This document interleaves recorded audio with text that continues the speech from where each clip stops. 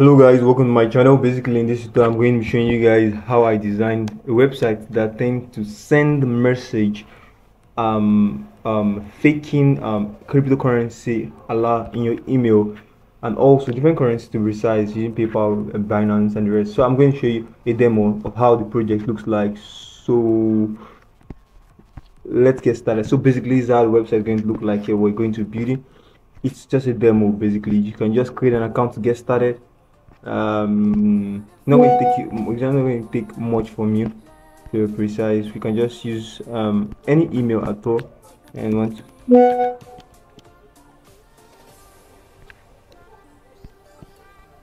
so um we're just going to want we one three four five seven eight nine.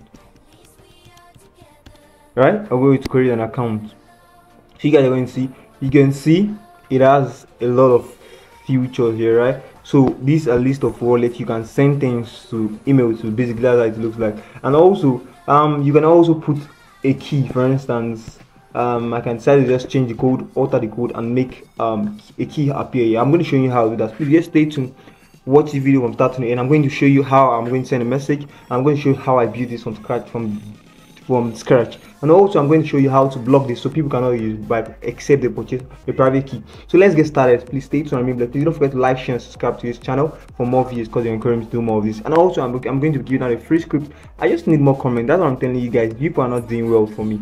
Once you do well and i get enough comments and like and subscribers I just need 2k subscribers and a good amount of watch hour. I'm going to give up a particular script for a nice one for that matter. So basically, let's continue for stop. Now I'm going to do this. This is what I'm going to do. First, enough for you to do this. Kind of easy, bro. You don't stress yourself at all. All you just need to do, you check the description link. If you need it, you can just DM me on WhatsApp. There's no time. So basically, all you just need to do is for you to just get the code. That's all. Once you get the code, you're good to go. So um, I'm going to show you how the code looks like. So if I open this now, you're going to see the code. This is the code here right? This is the code you're seeing. And also this guy here called mail underscore file is the also also the code. So i'll show you how i did that. So in order for you to do this first and foremost what i did was i uploaded a file right? So i'm just going to click on this select i'm going to click on desktop. I'm going to click on uh, this and I'm going to click on the file. This is the file, right? Once I click on this file, I'm going to upload this file. Once you upload the file, since I already have the file on my laptop already on my cPanel, there's no point uploading the file any longer. So I'm just going to go back here. Um, here, once you upload the file, I'm going to see something like this. Let me go to my trash and see. Yeah, this is what I'm going to see. Let me extract so you're going to see what we're going to see when you upload the file. When you extract this file, yeah i'm extracting it here i don't take it to my main cpanel but you are going to extract yours here you're going to take yours to your cpanel which is your public underscore html and you're going to extract it there. Once you don't extract it you're going to see this this folder here right? You see two files this is two files the first file which is this file you can click on it you click move and you you erase every single point here to this point here and you click on move. Once you click move it's going to move to this particular place here. You can see it here right mail underscore files so that's where it's going to move to. This other file just open your other file copy everything here and paste it on your public underscore html that's all you need to do. Once you're done doing that we can go back to the video now. Once to go back to my public underscore html now once you're done doing that you're going to get have this particular um view right? So the next thing for us to do now is for us to set it up right? So first set it up we go to this file click on it. You see this file .env right? Click on it edit. Once you click on edit um, you're going to see this particular file so go back to this place. I believe you know how to do all this by default but if you don't know how to do it i'm going to show you how to do that so we just type um my okay my okay. yes this mysql database wizard click on it. Hold on a sec. Uh, okay all right so we're going to click database. You can just call you you all right anything at all.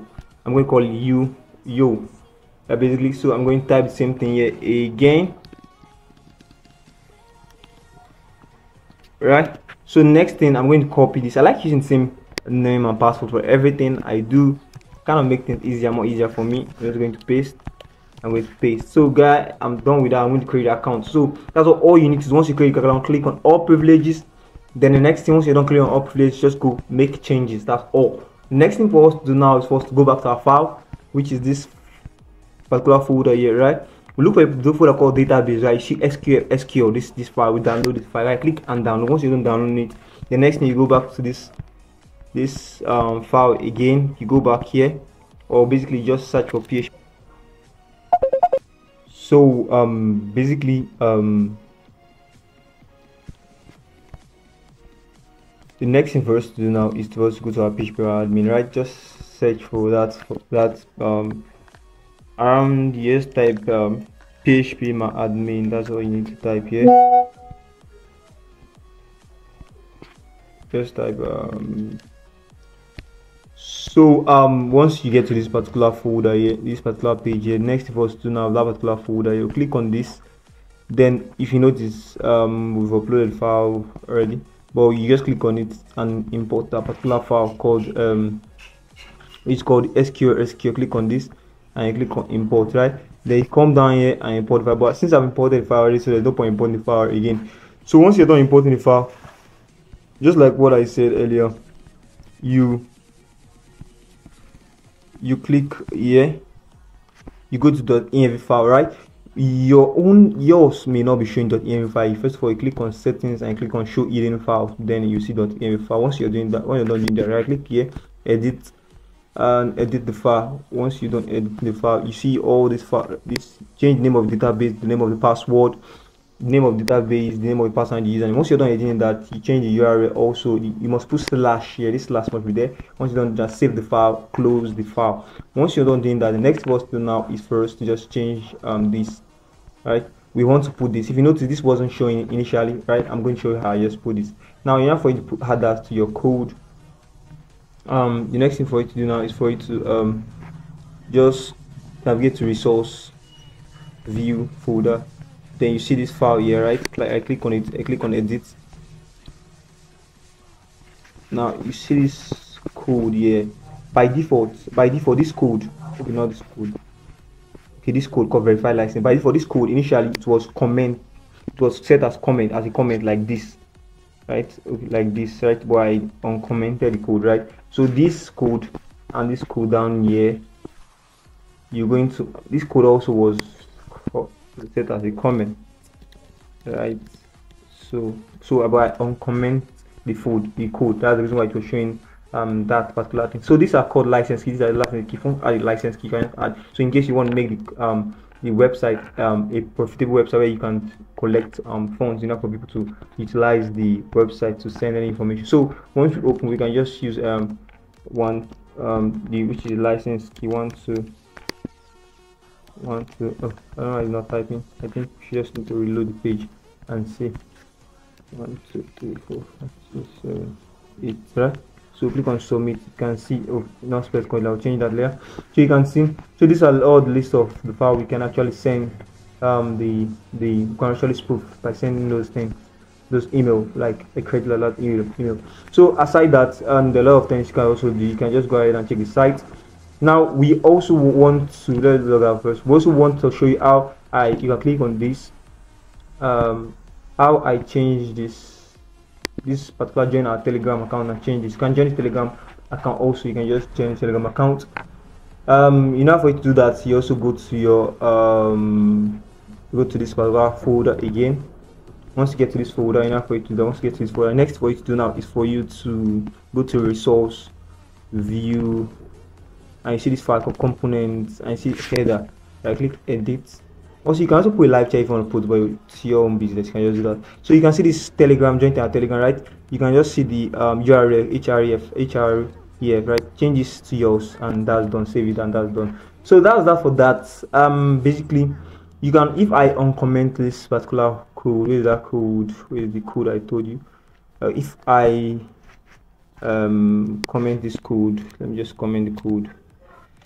Which i told you about right? If i just the code as a comment.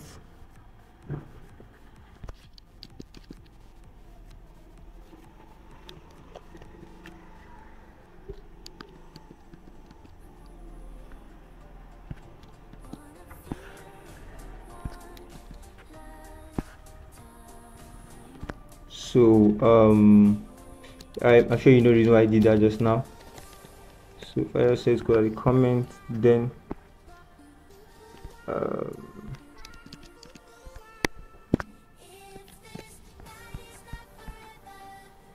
right here says code comment and save this code right and come up here just come up here. And do the same thing to this guy here. And do the same and save this code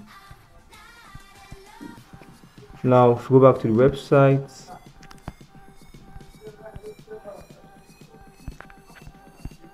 Get started. Login. Already have an account. And login. You can see no longer ask me for any security key. The reason is because um, I've removed I've commented I've commented that particular code. So that's how it works. So we're going to test this out now right?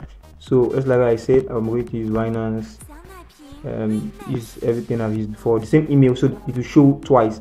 Instead like the sender and the receiver so I'm the sender is going to show withdrawer the receiver is going to deposit right? So I'm just going to generate this. So once you generate this to show you at the top oh it is supposed to show you transaction.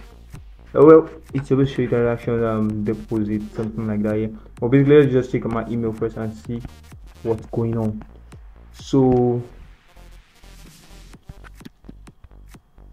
uh, okay just like what i said it's supposed to show you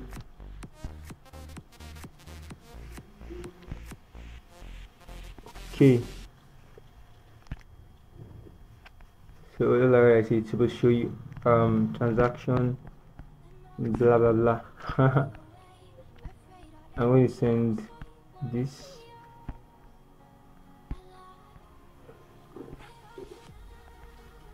And generate again or if it's showing the same thing. I'll you this is what I'm talking about it's going to show you this. Generating transaction that's what I was talking about. So transaction generated. So since the show that let's check our email this time. You can see I don't need to refresh my email I just saw it now. I'm seeing it twice because I use same account for both sender and receiver. And it is hitting the inbox right? So the purpose of this just just happened now you can see the um the email. And if you go back take this which is the drawer. Uh, you see we do little bit of this right? So blah blah blah. So basically that's how it works. Please don't forget to like share and subscribe to my channel. Subscribe to this to my channel and also make a comment if you haven't commented at all. Thank you for watching the video from start to end. Yeah, stay tuned and remain blessed